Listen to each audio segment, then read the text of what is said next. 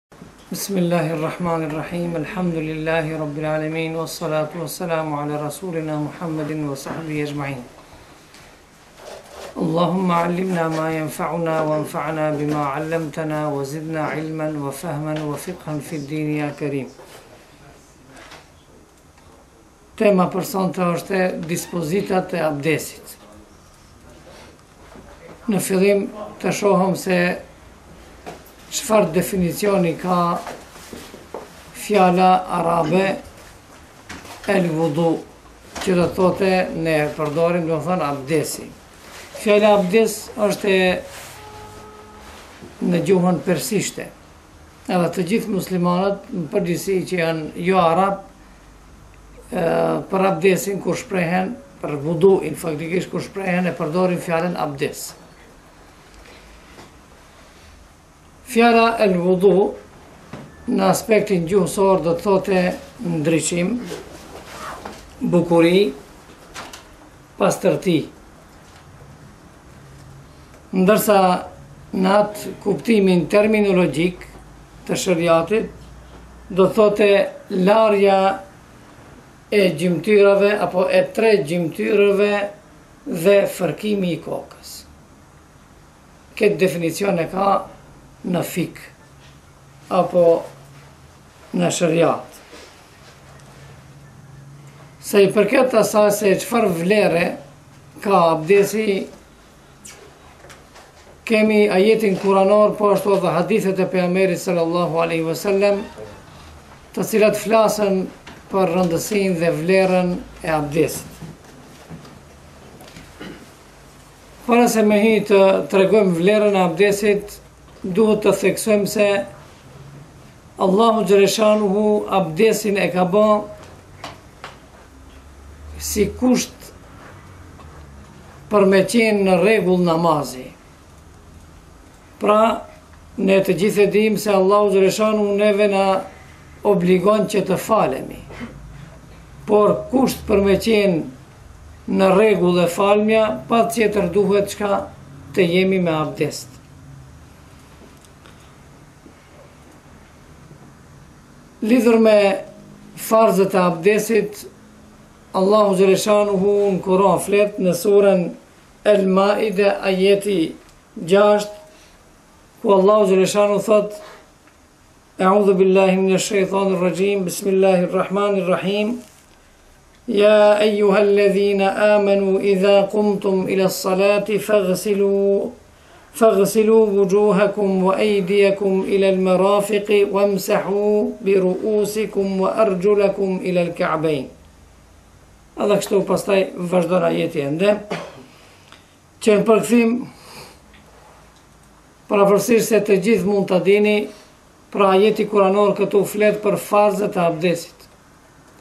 O ju të cilët keni besuar, kur të drejtoheni për namaz, ju lani fytyrat tuaja, lani duart tuaja deri në bërryl, kuptohet duart, domethënë me gjithë krahët, deri në bërryl,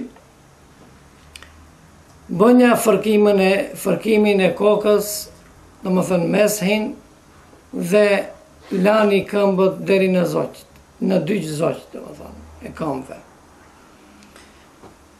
Ndërsa, sa i përket vlerës së abdesit, se çfarë vlere ka abdesi, kemi shumë hadithe të pejgamberit sallallahu alejhi ve sellem për vlerën e hadithit, po këtu unë do të përmendi një hadith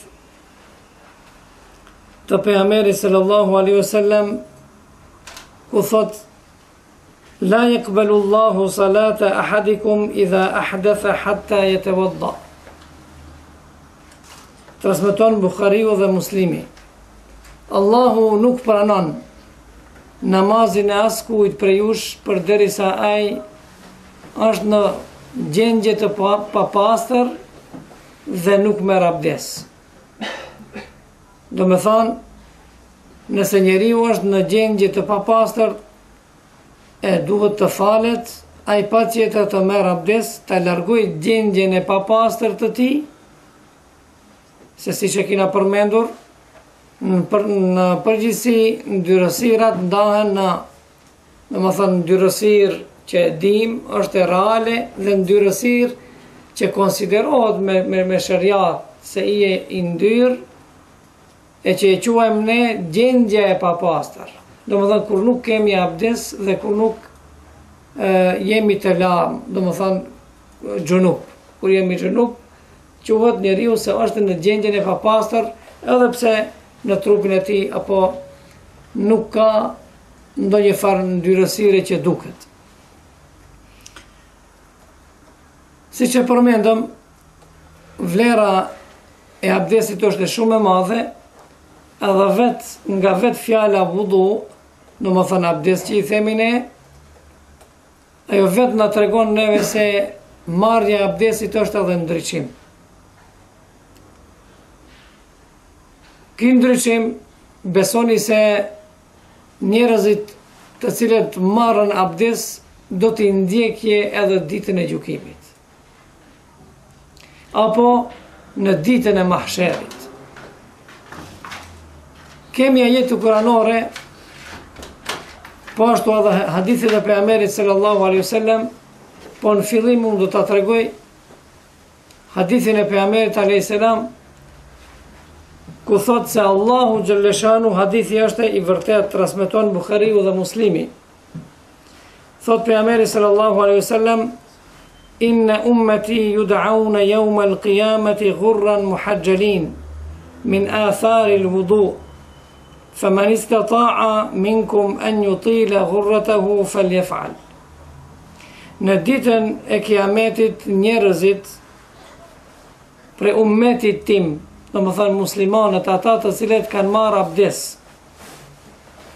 kanë falë namaz.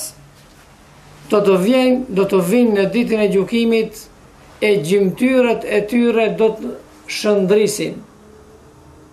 Do të shëndrisin gjymtyrët të cilat i kanë la gjatë abdesit. E këtu, thotë, është fjala për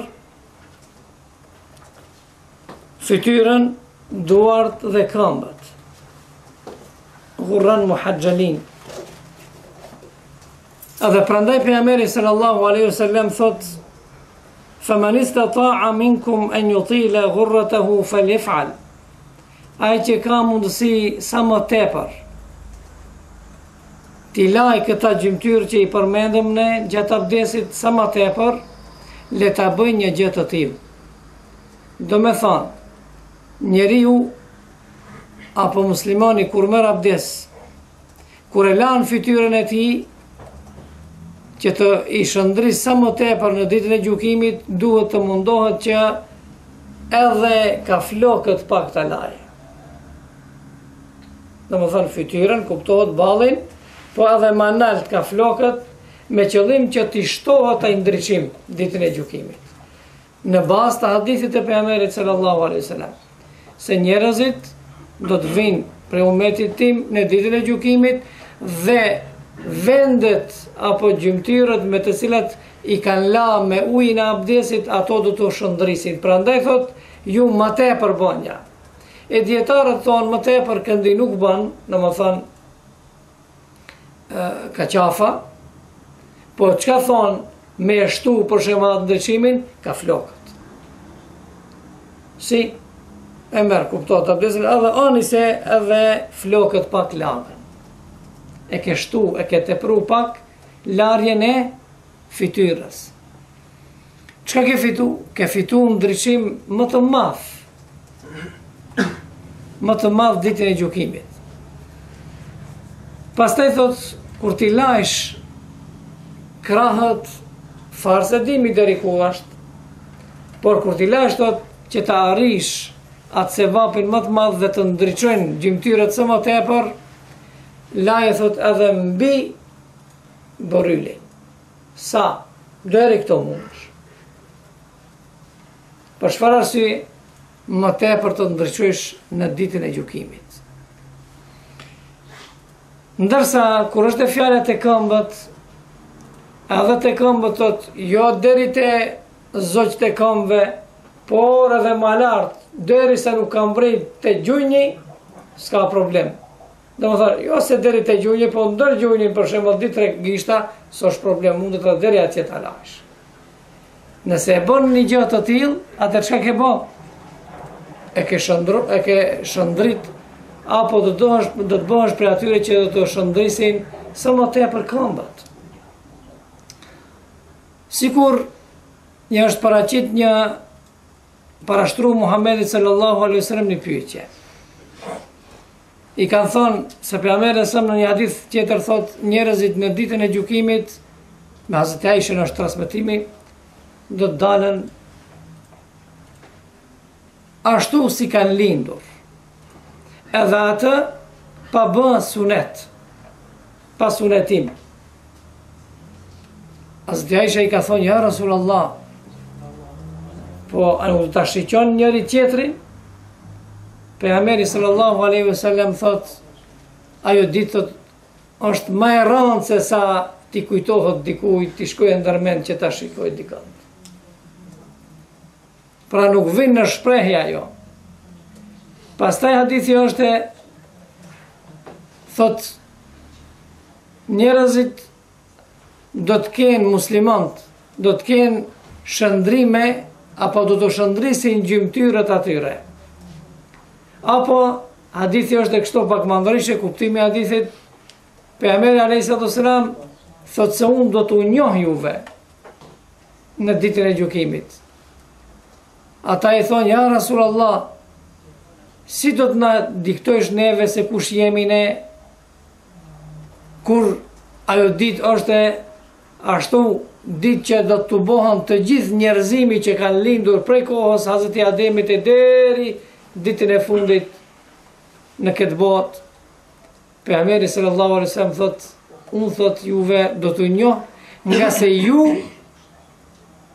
do të shëndrisni gjymtyrët e trupit tuaj të cilat i kini la me abdes, ato thot do të shëndrisin edhe njashtu thot unë do t'u njoh juve. Edhe kështu që e bie një shembull pejgamberi alejhis salatu ves-selam thot një lloj thot Nëse dikush për shembull e ka një kal që është balosh bje fjala. Edhe ai kal i balosh është për shembull në mesin në mesin e kuajve të cilët janë krejt për shembull të zi. Ai baloshi a hetohet prej, prej se largui, prej se largëti a hetohet për shembull në mesin e atyre kuajve që janë krejt të zi, thot po, e njashtu thot edhe unë juve, ashtu do t'u njof juve. Pra ju do të keni nishan me fjalë tjera. edhe do të hetohi në ditën e gjykimit se ju i takoni ummetit Muhammedit sallallahu alaihi wasallam. Pra, siç e shihni, e gjithë kjo vlerë vjen nga ajo se muslimani besimtari merr abdes dhe ai abdesi i tij do të shndris. Ka edhe diçka tjetër këtu.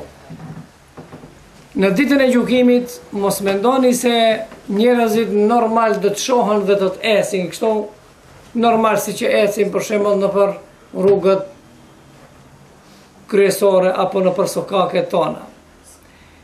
Thot pabesimtarëve Allahu xhaleshanuhu nuk do të nuk do t'ua mundësojë atyre që të shohin edhe do ta kenë rrugën ata Krejt në terr.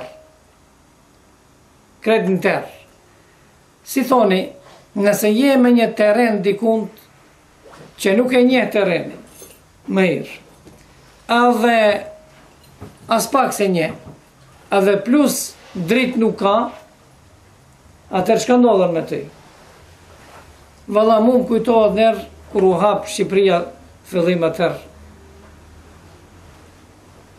Ishim në Shkodër, edhe tu u kthy ne, katastrofë ishin rrugët atëherë, tu u kthy ne, e humbëm kështu pak si rrugën, po edhe mund të thuhet se ajo e vetmja rrugë aty se ishte, edhe Ishim me do shokë, ishim shku për kështu davet, edhe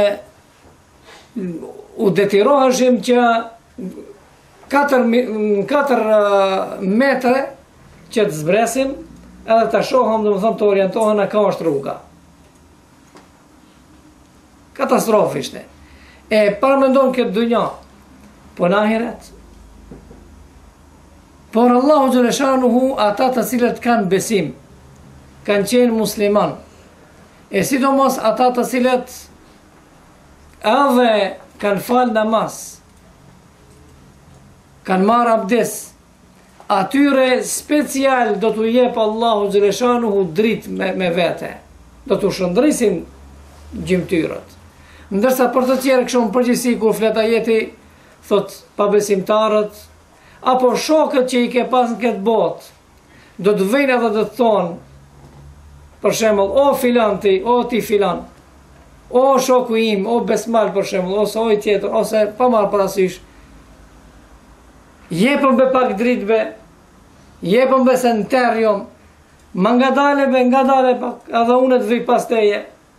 Ai edhe pse vin pas teje, nuk ka, nuk mund të shef, nuk ka dritë me vete. A ndërsa besimtari do të kese dritë, edhe do ta dije, normal, edhe pse nuk e njeh terrenin ti, Por, nëse për shembull ke shenja me vete, shenja ke me vete se do të jesh prej të mirëve, ajo është çka? Një është për shembull që do ta kesh dritën me vete. E dyta është edhe do të shëndrisin gjymtyrët. Normal domethënë se njeriu do të jetë se më në rehati. Thotë kile irxhiu atyre pabesimtarëve do të thuhet kthehuni ju pas, domethënë dunja, kthehuni përsëri dhe merrni dritë Se këtu nuk ka më dritë, nuk mund të marrësh dritë. Dhe prandaj, njeriu nuk, du ta, nuk duhet assesi ta humbë këtë shans. Rastin tani. Elhamdulilah që ne jemi musliman, edhe Allahu xhelleshanuhu neve na vlerëson, ndaj të gjithëve, ndaj popujve tjerë, ja Muhammed A.S. thotë, umeti im, të tjerët nuk do ta kenë, nuk do ta kenë këtë këtë rast që t'u shëndrisin gjymtyrët edhe pastaj përsëri të ngel që dikush prej nesh për shembull të emërtohet të jetë musliman për shembull ta konsideron veten e vet si musliman edhe mos fal namaz Mos i lag krahët e vet, për shembull që themi ne, domethënë pa abdes të rri, as pa, nuk merr asnjëherë abdes. Siç tregohet dikush vetëm për ilustrim kjo, dikush pa mbet në rrugë, në këto terene tona, edhe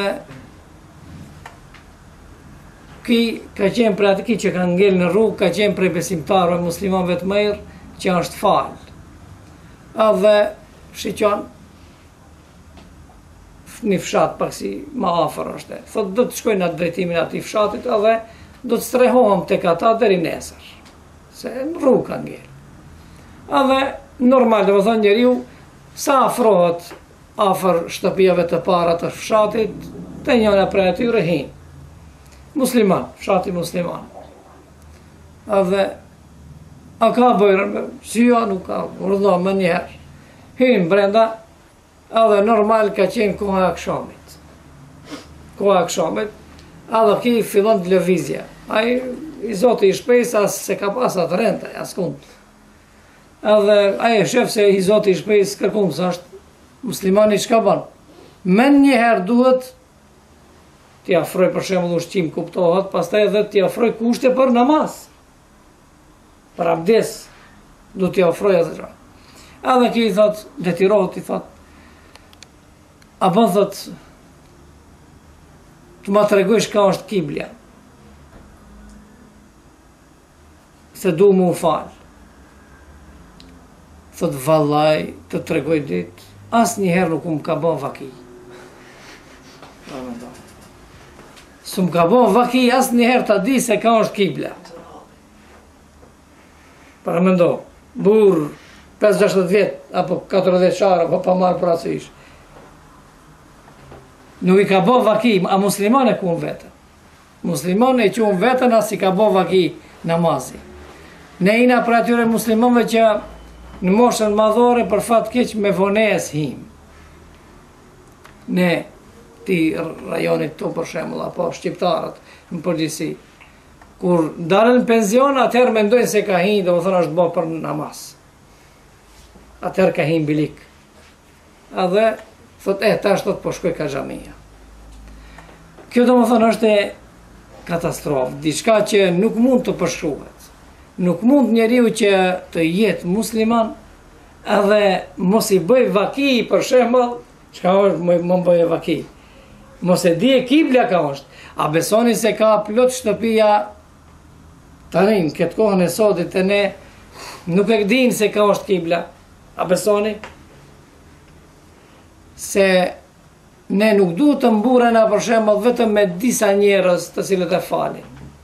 Duhet bën ta bëjmë një krahasim se sa muslimanë falen në vendin tonë për shembull. Edhe pse ne e quajmë Tetovën se është ma fetare. Ta bëjmë për shembull një statistikë do ta shohim se sa falen. Kjo nuk është rregull, prandaj ne duhet të veprojmë po kuptohet se prej fillimit duhet në fillim domethonë duhet të fillojmë me veten tonë. me familjen tonë, me rrethin më të ngushtë edhe më të gjerë dhe kështu. E tash t'i kthehena kësaj bisede, thot tani, mu, tani kemi mundësi të të kalojmë edhe të flasëm për kushtet e abdesit. Pasi që e kuptum se me të vërtetë çfarë vlere ka abdesi, Ta shohim se cilat janë kushtet e abdesit. Thot, kushtet e abdesit janë tre. Nuk flasëm farzet e abdesit. Kushtet e abdesit janë tri. Nën një, domethonë, për me qenë njeriu në gjendje të marrë abdes, Edhe t'i konsiderohet abdesi si abdes i duhet t'i plotësojë tre kushte. Nën një, është thot, çdo gjë të ndërpritet, çdo gjë që e prish abdesin. Nëse është gjak për shembull, të ndërpritet ai gjaki, Po atëherë vazhdon me abdesin. Nëse është për shembull urin, të ndërpritet urina edhe pastaj kuptohet, domethënë të fal, të filloj të merr abdes. Kjo një kusht prej kushteve. Në përjashtim të atyre njerëzve që janë u themi në fikh për shembull uzërli, te te ne u kanë thonë. Me uzër është. Kosovarët i kanë thonë me yzër. Po, me yzër. Po. I drejtë si do. Jo, domethënë uzër do të thotë ka arsye. Ka arsye, domethënë që ai gjaku mos t'ndërpritet, edhe pse rrjedh gjaku ai të vazhdon të merr abdes. E për kë për kë vlen kjo? Kuptohet domethënë vlen për atë person i cili ë gjaku i tij për shembull apo urina e tij apo çdo gjë që ja prish abdesin t'i vazhdon më tepër se një kohë namazi pa ndërpre. Pra nëse un kam një arsye, një një një uzër i thon. Të mësohen edhe pakëz të flasëm edhe në gjuhën e fikhut, ashtu? Edhe shqip pak, edhe të shqipërojmë bile. Pra, nëse unë kam një uzër, domethënë një arsye që ma prish abdes, diçka që ma prish abdesin, por nuk ndalet ajo. Nuk ndërpritet. Sa nuk ndërpritet? Nuk ndërpritet sa sa një kohë namazi. Atëherë, çka bëj unë? Atëherë shariati bën lehtësime për mua, thot edhe se të rrjedh gjaku për shembull, ose edhe pse urina nuk të është ndërpre, vazhdon se ka njeri, njerëz që vazhdimisht ka pak për shembull, i rrjedh. E çka do të bën ai? Atij i themi uzërli. Njeri domethënë me arsye edhe pse jo arsye mos me u falë. Se ne shqiptarët aty i kena mendt. Te arsyeja mos me u falë. Arsye të gjen sheriati domethënë të bën lehtësime faktikisht, edhe pse nuk ndërpritet se një kusht prej kushteve që të marrësh abdes është të ndërpritet ajo, çdo gjë që e prish abdesin. Po mu nuk ndërpritet. E nëse nuk ndërpritet një afat, e kohës, i kohës, i çdo kohës, domethënë, bie fjala prej dreke deri n'iqindi. Shkoj e nxjerri dhambin, për shembull, se konkretisht ne i kena, ma mirë, domethënë, flasëm konkretisht. Dhambin e qes, e nxjerri, edhe rrjedh gjak ai, bën vaki ka ndodhë dimën, ato kohët e namazit krejt afër janë, çka do të bëj unë? Nuk do të falem? Jo. Ja. Pasi që, domethënë, rrjedhja e gjakut vazhdon një kohë namazi, atëherë unë marr abdes kur të thrase ezani. Dhe me atë abdes, edhe pse rrjedh gjaku ose diçka tjetër, unë kam të drejtë të fali çdo namaz me atë. Deri kur? Deri në kohën tjetër. Në kohën tjetër, Mu nëse nuk e prishi me diçka tjetër, për shembull abdesin, mu nuk um konsiderohet ai abdes nëse nuk e prishi për shembull me diçka tjetër. Më prishet abdesi. Hiç pa mos e prish për shembull abdesin me atë për të cilën jam me uzër, ashtu, me arsye. Edhe Thërri Gjeleja, unë edhe pse nuk kam ba gja, po vetëm që me atë rrjedhin e gjakit, për shembull ka vazhdu, unë përsëri duhet të marr abdes. Domethënë, ai që është me uzër, në këtë kontekst që e, e kuptum tanimë, ai do të merr abdes në fillim të kohës. Kur do të mbaroj, skadon koha, koha, koha, në të cilën ke marrë abdes, Atëherë fillon abdesi i ri, pa marrë parasysh se nuk të, të është prish abdesi për shembull ti. Në rregull. Pra, kushti i parë për abdes është të ndërpriten të gjitha gjërat të cilat ta prishin abdesin në përjashtim të uzërliut, ashtu. Edhe tani tashmë e kemi parasysh se kujt i thonë uzërli. Se me përdor për shembull ndonjë fjalë shqip, atëherë po e kuptojnë ndryshe. Në përjashtim për shembull të atij që ka arsye, e, eh, në rregull. Me domethënë paskam arsye unë mos m'u fal, a. Nën dy, kushti i dytë është, thotë, të mos ketë apo para atij kushtit, ky i treti është kushti i dytë është dhe të përfshi uji i abdesit të gjitha gjymtyrat të cilat duhet apo është farz me i la që do të thotë nëse unë në dorën time apo në trupin tim apo në gjymtyrën të cilat duhet ta laj që e kam farz ta laj kam për shembull diçka që e pengon kalimin apo depërtimin në lëkurë, të kalojë domethënë uji në lëkurë, e, e pengon, bie fjala, kam për shembull qiri në dorën time, më mirë të themi. Po. Ose gratë, gratë që e përdorin për shembull llaqet që janë për thonjtë, Ose, për shembull, kam vaj në ato gjymtyrë të cilat duhet t'i laj. Pa marrë parasysh, domethënë, ndonjë pengesë që i pengon, atëherë çka ndodh? Atëherë, unë nuk kam të drejtë t'ia filloj abdesit derisa ta hek, ta largoj, atë domethënë prej, vend prej gjymtyrës të cilën duhet ta laj. Këtu duhet të ndalemi pak edhe të tregojmë diçka. Në këtë çështje kanë paksa problem disa zanatli që janë. Për shembull ka dikush që është automekanik, apo të ngjashëm, ato me të vërtetë probleme kanë. Kanë probleme E ai çka do të bëjë? Ka dikush për shembull, thonjtë me të vërtetë i ka të prerë, krejt në rregull janë. Por, ai punon me lloj-lloj gjërash, edhe ato i hinë po gati se ngjiten për lëkure. Edhe ka raste, ku dikush për shembull me të vërtetë ka probleme dhe hasen në probleme. Sikur që ai për shembull ta marrë ndonjë furçe që është e fortë, po përsëri ku me ditë për shembull ai pastrohet hali si duhet. A e obligon Islami deri në atë shkallë këtë person? Ajo është me të vërtetë është mundim i madh. Çka e obligon Islami? Islami e obligon që ai të përdorë të gjitha ato detergjentet, ato gjërat për shembull speciale të cilat ia largojnë ato. Ajo gjë që nuk largohet veç se me kohë, duke e la me kohë. E keni parasysh, kërkon kohë ajo.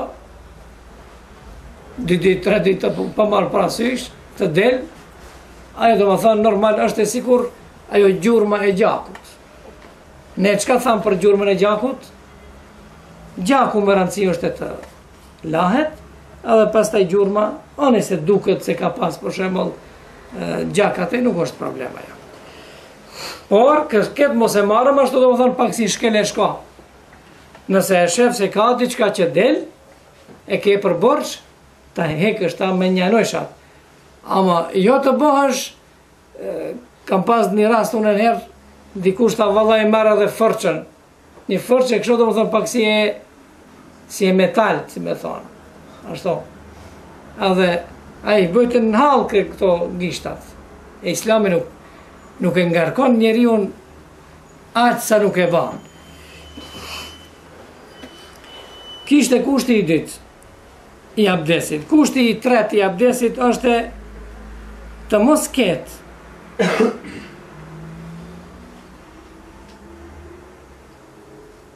diçka në trupin e tij që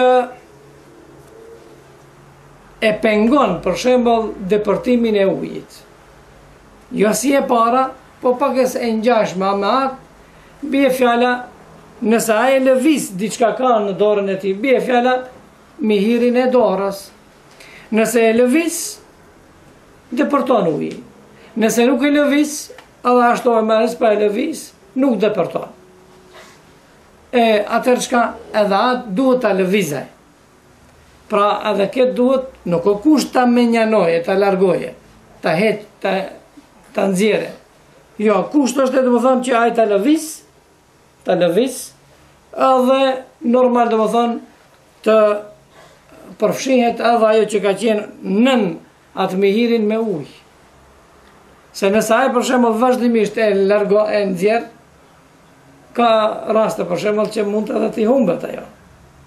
Ne nuk flasim për mihirat e alltënit, për ato është haram t'i mbajë mashkulli. Po flasim për shembull për mihirat e gjymishit.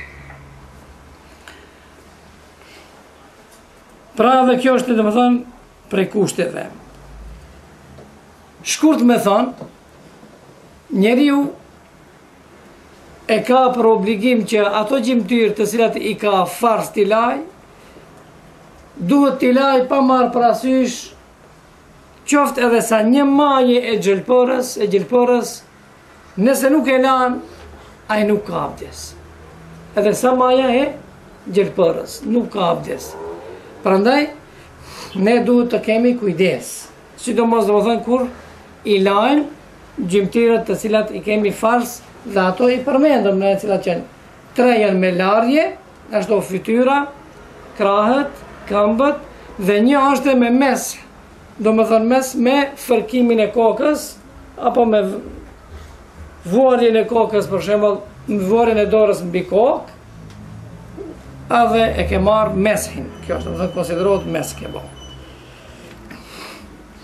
Këto ishin tre kushte. Tani të shohëm farzët e abdesit. Menjëherë dikush mund të thotë, po merhaba, s'i di farzët e abdesit unë. Meqë është kështu, se si do të shohëm, po nëse, ama edhe të shohëm, se nuk e din. Edhe pse dikush mendon atë se i din. Nuk flas për shembull për gishta, për masë, në përgjithësi.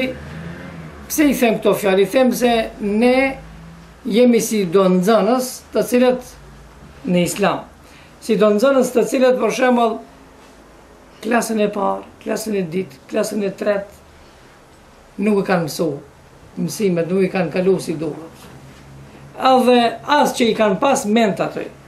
Pra ai çalon edhe në shkrim, çalon edhe në lexim, s'e ka leximin, edhe në plus, edhe në minus. Edhe një herë që i thonë, ashtu, çalon me ato. Edhe ky tash kur do dalë në vitin e, e pestë, për shembull, çka ndodh me atë? Ai i ka krejt të cunguar gjërat, krejt të gjymta. Merre për shembull, ai diktim nuk di t'shkruj. I di shkronjat kështu kap, nga pak. Edhe ne, jena domethënë të ngjashëm me ato, Shumë gjëra për shembull të cilat na janë elementare për ne, ne nuk i dimë. Edhe themi se këto u takojnë fëmijëve. A keni ndëgju, shpesh. Edhe thonë kët, këto gjëra domethënë u takon fëmijëve. Jo valla. Na takojnë po ne ne interesant jemi se ne shumë vonë, biles. Këto u takojnë çdo besimtari, çdo çdo muslimani t'i dijë ato gjëra. Edhe prandaj Kur ndonjë hoxhë tregon për shembull për rregullat e namazit, nuk kanë interesim. T'i ndëgjojnë, a ato kanë të bëjnë me farzin më kryesor që është namazi. Nëse njeriu namazin nuk e bën, atëherë problem është edhe me tjerat. E të shofim për shembull, kushti i parë, jo, jo, farzi i parë, i abdesit cili është farzi i parë i abdesit është larja e fytyrës me vetë faktin, domethënë me faktin me argumentin që e përmendëm më lartë ku Allahu Xheleshanuhu thotë fagsilu vuxhuhekum Dhe lajni wujuhakum fytyrat tuaja. Në rregull. E tash po unë duhet të di se ç'është fytyrë. Edhe çka përfshihet në fytyrë dhe çka nuk përfshihet në fytyrë. Edhe dikush mendon se ashtu lehtë është, nuk o bash lehtë. Në fytyrë, apo fytyra e cila duhet të lahet, për së gjeri, për së gjeri, duhet të lahet prej mbas veshit e deri mbas veshit tjetër. A u kuptua? Kjo çka do të thotë? Kjo do të thotë se fytyra kështu duhet të lahet, por duhet të lahet po ashtu edhe kjo që është mes veshit dhe mjekra ku fillon anësh edhe kjo që nuk ka qime këtu mes kështu veshit këtu ku fillon edhe pastaj ka një vend domethënë ashtu pa qime Edhe ajo duhet të lahet. Domethënë ti kur merr abdes, nuk e bon vetëm këtë këtu, por edhe këtë, edhe këtë duhet ta lash. Kjo ishte sa i përket për së gjeri. Sa i përket për së gjati, thotë fytyra duhet të lahet prej vendit ku kanë bi Qimet, jo tani ku i ke, me i pa për shembull plak tash problem.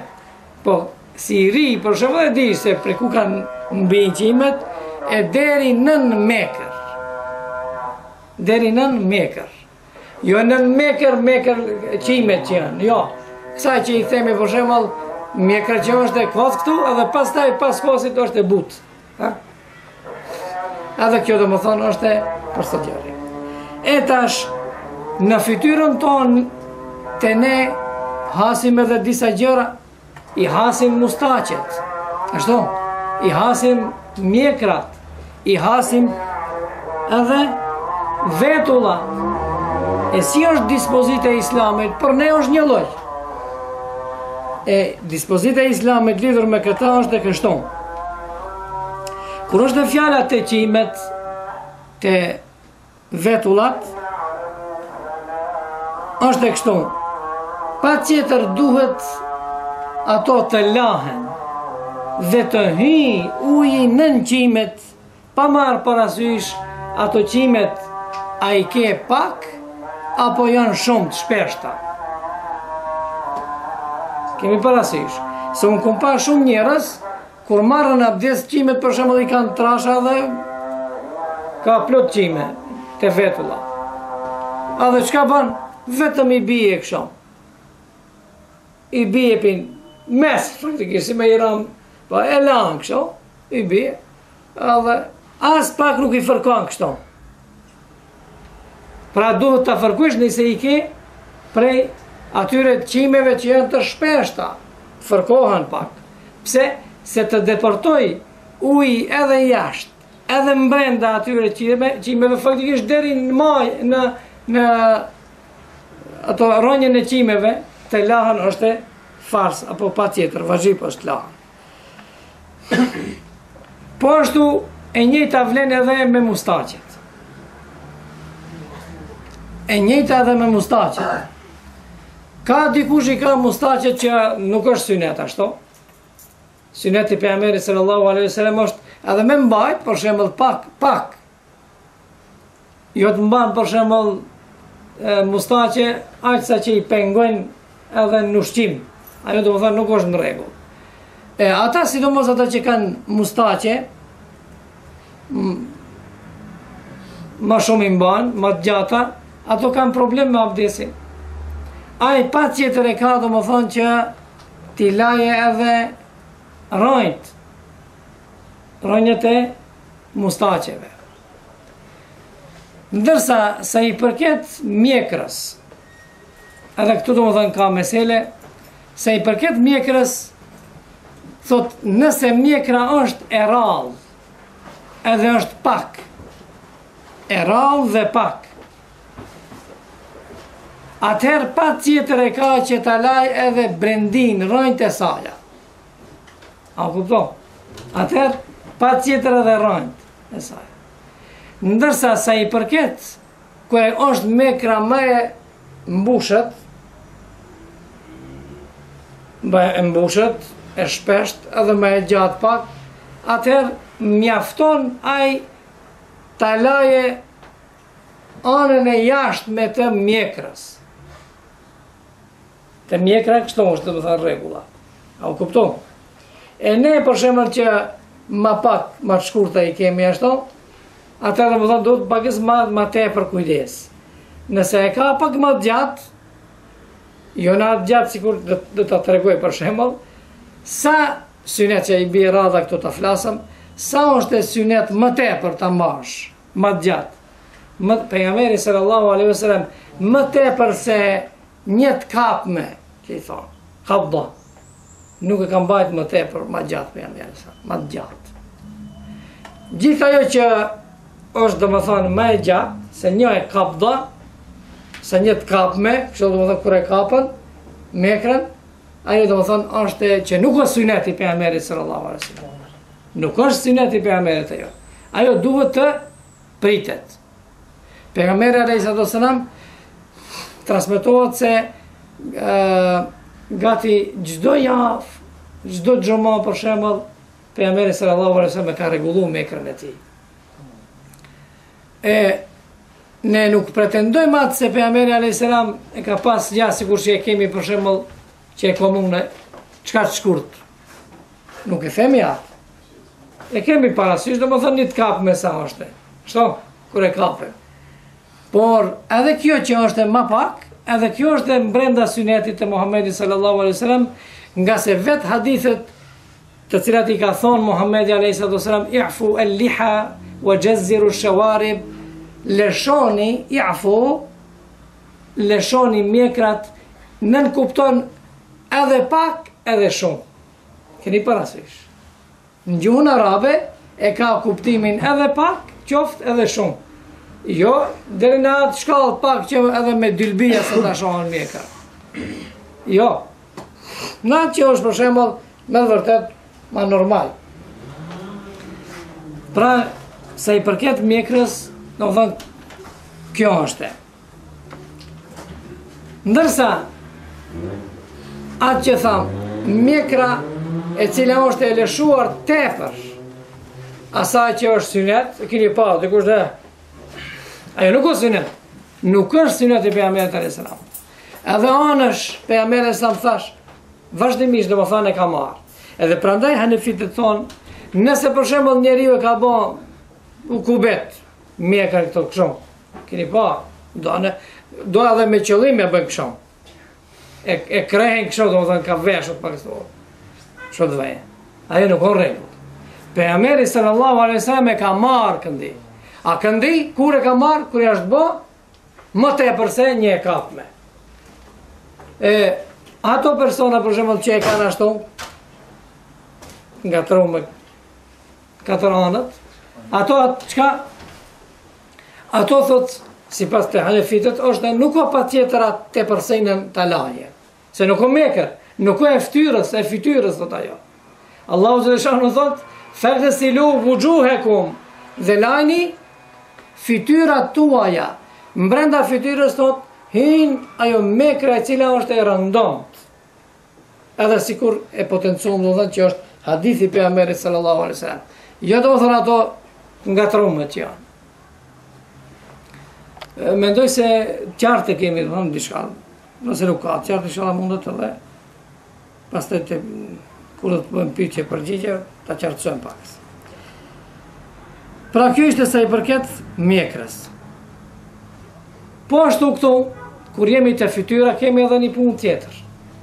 Patjetër e kemi që ujin ta depërtojmë edhe sytë ku i kemi, edhe në fillim këto, si është e si gropë, ashtu, edhe aty për shembull në qoshet e syve, ku ndonjëherë del diçka, keni parasysh domethënë te sytë, edhe ato duhet patjetër të lahen.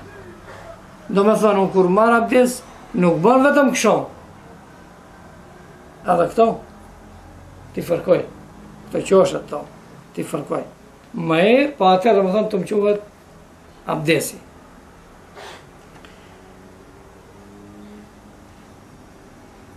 Po ashtu, te mjekra kur ishim, domethënë, edhe ajo mjekër e cila mbi katër, edhe ajo domethënë, nuk është patjetër të lahet po ashtu.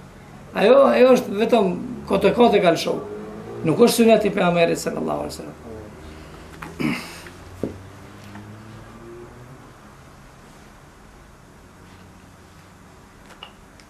Kjo ishte sa i përket, domethënë, farzit të parë, larja e fytyrës. Farzi i dytë është larja e duarve me gjithë krahët. Larja e duarve me gjithë krahët. Normal, domethënë edhe kjo argumentohet me ajetin kuranor, wa aydiyakum ila al-marafiq, dhe lajni duart me gjithë krahët deri mbi bërryl. Këtu Dijetarët për shembull kanë diskutuar, po unë dua të tregoj vetëm ato që janë më të sakta. Ë deri ku duhet të bëhet për shembull larja e krahit edhe ku është e kufiri. Djetarët kështu ma shkurt me i ra e fusin edhe bërrylin në larje. Pra, prandaj duhet kujdes njeriu të ketë, kur merr abdes, çka ban? E lan edhe këtë bërrylin e fërkon edhe e lan. A, më kupton. E, ku jemi këtu, ta tregoj edhe diçka, kur quhet larje? Se, është dasht bile ta tregoj edhe ma herët, kur quhet se e ke la? Quhet se e ke la nëse së paku tre pika prej asaj prej atij uji që je duke e la pikojnë. A kupton? Tre pika, dy pika së paku. Nëse, shive, shia këtë dy pika. Bie fjala ti nuk ke ujë të mjaftueshëm. Ashtu. Nuk ke ujë të mjaftueshëm. Dhe çka bën? Thu unë tash do t'i laj krahët. Nëse edhe aq e bën, domethënë, në mënyrë që krejt e fërkon, ama asnjë pikë nuk ka piku poshtë. Nuk ka ra. Së paku dy të jenë nëse nuk kanë ra dy së paku, atëherë ti mes'h i ke dhonë. E nuk e ke la. A më kupton? Ajo konsiderohet atëherë mes'h. Fërkim. Allahu xhele shanuhu nuk thotë dhe fërkoni krahët tuaj. Kokat tuaja e fërkoni, po. A krahët thotë çka, lani. E larje thotë konsiderohet se e ke la, kur së paku të pikojnë dy pika. Kjo është e kuptohet në shprehje ma tepër kur, kur ke mungesë uji, Atëherë, domethënë, edhe atëherë duhet të mundohesh që së paku dy pika, domethënë, të bijen poshtë. Prej, jo vetëm vetëm prej, prej krahit dy, kuptohet prej fytyrës dy, prej kamve dy.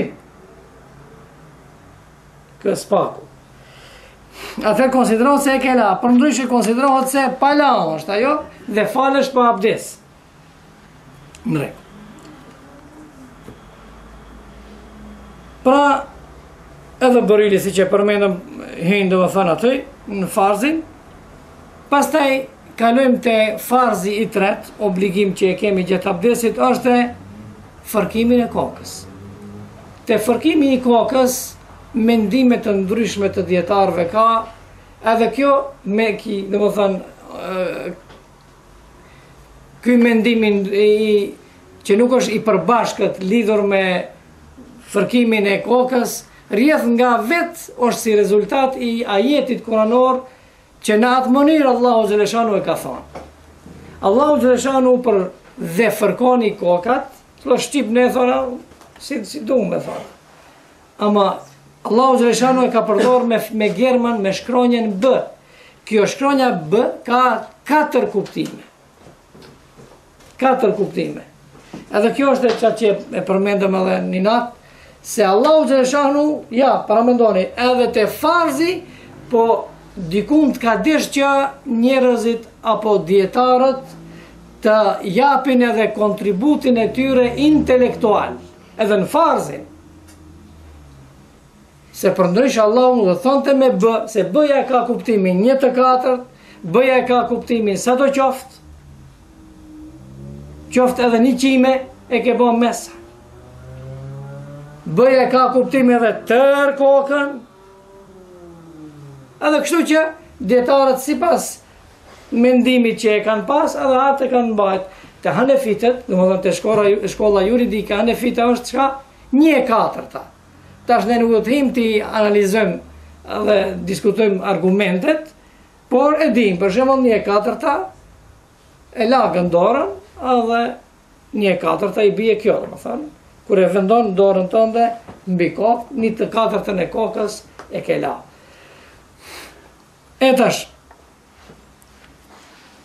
kjo është, siç e përmenda, se kur Allahu Xheleshanuhu dëshiron, qoftë edhe në farz, që njerëzit do më thonë të kenë mendime të kundërta me një çështje.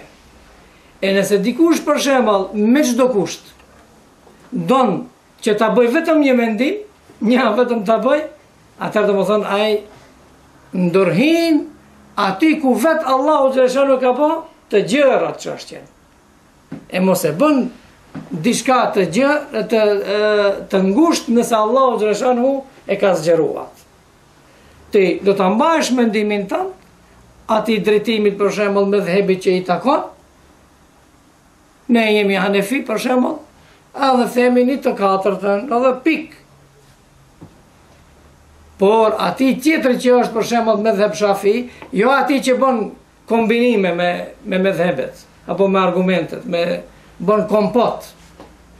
Edhe më në fund del se ndonjëherë për shembull, ndonjëherë një çështje i del se është halal, herën tjetër po qajo çështje i del se është haram.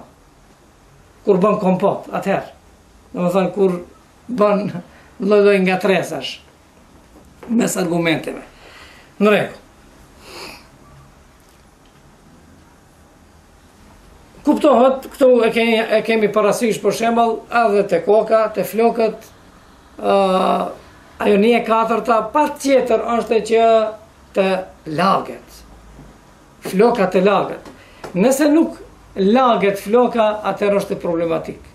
Prandaj njerëzit shpesh pyesen për shembull për gella, për këtë, për çka di unë. Ato edhe pse duhet edhe një konsultim për shembull me mjekët apo me ata që janë të specializuar për ato çështje se çfarë lande përmbajnë ato, A lë me të vërtetë shtresë, për shembull, a pengon në lagjen e qimes? Nëse pengon në lagjen e qimes, atëherë nuk i konsiderohet mes'hi atij. Por unë këtu për shembull e përmendi diçka dhe shpesh herë e them këtë, pse, se njerëzit tonë janë shumë të ligsht në islam, në besimin e tyre, edhe qatë që e bëjnë për shembull namaz që e bëjnë, Nëse u bie ndesh për shembull me diçka që është zbukurim apo epsh qejfet e kësaj dunjaje, është në gjendje ta lanë farzin vetëm e vetëm që mos t'i prishet gelli. Ashtu? Sidomos te gratë. E prandaj unë shpesh e përmendi se nuk është bash kusht, është prej mustehabeve apo prej suneteve para ta bësh mes'hin. Por, farzin për me e kry mundet edhe mbas. Keni parasysh. Edhe mbas. Domethanë, qato që epshe kanë një gjo të tillë dhe nuk, nuk janë n'gjendje për shembull të flijojnë për një gjo të tillë, apo ka pengesa ku me ditë, tash mos me hi n'ato biseda, le ta bëjë atëherë së paku mes'hin, mbas, ose në një vend për shembull ku nuk e ka la, ku nuk e ka nuk e ka ly me atë gjënë e cila për shembull ka i bën i formon një shtresë. Kështu.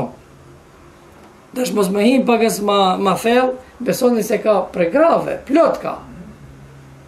Sidomos ato që janë të reja, unë pakëz ma herët bile di pakëz ma tepër, me të madhe. Nuk e falen namazin se O rregull për shembull tash. Edhe nuk është në men don se patjetër vetëm përpara. Ja, për shembull, i tregom që mos e lënë namazin, domethënë e vendon në ndonjë vend për shembull ku nuk e kalon, me aso nuk i pengon, me ta marrë mesin aty. Në kokë. Kjo ishte sa i përket për shembull, sa i përket kokës. Tani Allahu xhele shanuhu farz e bën të abdesit edhe larjen e këmbëve. Kur jemi te këmbët, Kuptohet ne duhet t'i lajmë ato deri te zogjtë e këmbëve, deri te koci. Koci hyn në larje. Po bile siç e përmenda atje, ne duhet të bëhena prej atyre që edhe ma ma nalt t'i lajmë bile. që të na shndrisin sa më tepër këmbët tona, edhe krahët tanë. Krahun jo deri këtu, por mundet edhe pak më nalt ta lash. Te këmbët ka një vërretje aty, kemi vërrejtjen se si zakonisht njerëzit për shembull thonjtë e këmbëve kanë probleme, janë ma specifike, mlidhen ato llomet mlidhen anësh. Anësh mlidhen edhe formohet një shtresë.